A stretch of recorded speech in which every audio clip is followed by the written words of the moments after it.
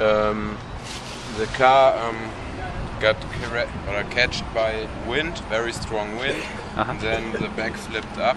Driver is fine, and I think um, he had the um, right reaction, so that the car or that nothing happened to the car. That was the perfect reaction for this situation. It was a hard side wind. Aha. Yeah, on the side wind uh, pushed us a little bit from the road and we catch it uh, um, in the corner. Yeah, the car moved uh, on two wheels like a motorcycle. But, and he touched the ground on this uh, area. But uh, nothing happens. The driver is fine. The car is pretty fine. We drove uh, on this day afterwards and on the third day also. We checked the car in the morning um, directly after the crash, and there was nothing on the car, so that um, after five minutes with another driver we could go on.